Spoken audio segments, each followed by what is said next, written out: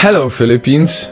I'm recording this video because it makes me sad that there are people out there who right now lost their respect for me for something I'm not even a part of. It's been almost two years since I have worked on anything directly with NAS. For a long time now, I have fully focused on the Project Nightfall organization. That is the only way I managed to grow it to so many people from all around the world. But some people still group me and Nas like we're the same person, working on the same things. We're not. But taking this aside, I need to address a viral post that people connected to me. A post from Louise, who wrote a lot of bad stuff about things that my friend Nas allegedly said two years ago. Guess what? I was there. I went there to work on a video about Louise too, so I can give you my version. And trust me, I could have just stayed silent and in a few days forget about this, but if there's one thing that I really dislike, it's when people build their careers while taking other people down. It's very unfair and so I need to tell you what happened exactly. For starters, okay, before we even begin, the details of her post are not strong from a logical point of view. Can you imagine anyone with millions of fans from all around the world, a public figure, to say highly offensive stuff in front of a total stranger? I have never heard him say any of these words, because if he actually said them, I would be the first person to hold him accountable. I can't believe how easy it is to write something on the internet and have hundreds of thousands of people instantly believe in it, without any recording, without any actual proof. A written post with mostly disabled comments can just go viral and it instantly passes off as truth. I can't believe it, honestly. It's the first thing I see something like this on my own skin.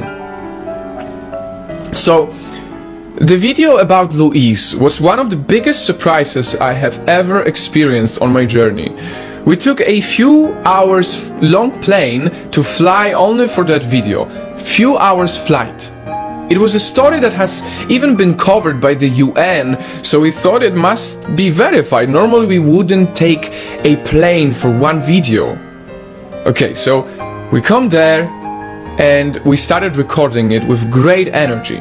Louise, honestly, is a great young woman. Very good energy.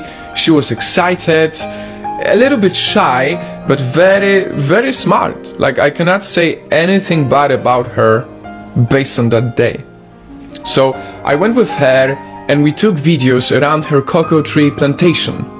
The trees were beautiful, everything was going well in the area she invited us to.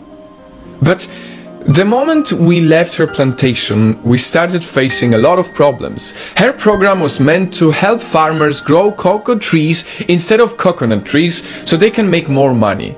And so we went to see farmers growing these trees. But the problem was that they were all dying. Tiny, dying trees. They, they looked nothing like those around Louise plantation. From one farmer to another farmer, we were driving in between for a few hours and couldn't find even one good looking healthy tree. And that's when we faced the dilemma that was so tough. Trust me, when you take a few hours long flight for one video, the last thing you want to do is to quit. But we had to because the video would be a lie. And so we left. Two years later, she wrote a post sharing her experience as if it was her decision to not work on that video. And here we are now. Thousands of people in the Philippines have something against me for no reason. And it's especially painful because most of my team is Filipino. We always love when we have an opportunity to do something good for the Philippines. And when we do that, now people are saying that it's Pinoy bait. How can you say that? I mean, we made 25 out of 600 videos about the Philippines. That's less than 5% of the videos I ever released about the Philippines. And many times I say that I love the mentality of Filipinos.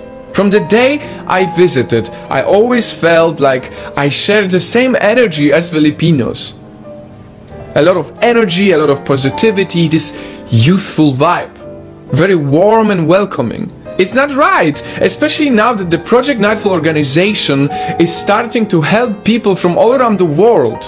We literally just had a call with a Filipino mom who needs funds to help her two autistic kids with therapy, which we will be sponsoring this week.